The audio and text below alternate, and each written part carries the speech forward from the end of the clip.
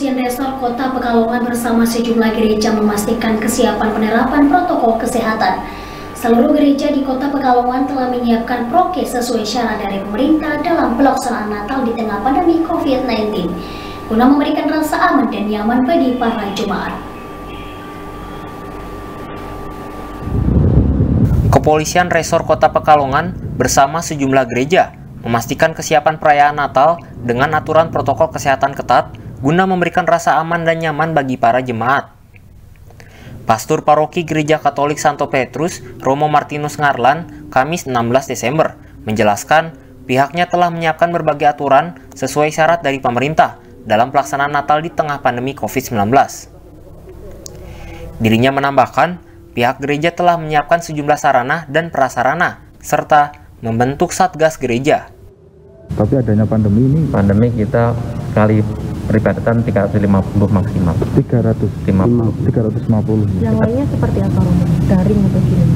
yang lain sama daring ada tapi kan kita buat jam- jamnya ber tiga sesi.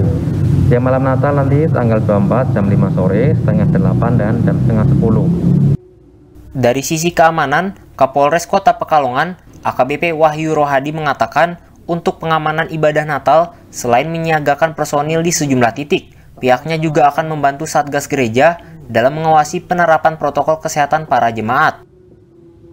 Untuk di gereja nanti kita lebih mengedepankan kita rangkul dari pengurus gereja ya. Pengurus gereja kita rangkul untuk apa namanya pada saat pelaksanaan ibadah ya tetap eh, mengutamakan pembatasan apa, pembatasan jemaah dan tetap harus dengan protokol kesehatan.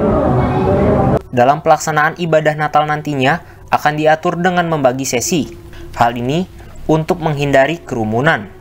Kapolres pun menganjurkan masyarakat untuk bisa melakukan ibadah Natal dari rumah yang akan disediakan secara daring. Dari Pekalongan, Jawa Tengah, Yusuf Fatoni, Kantor Berita Antara, mewartakan.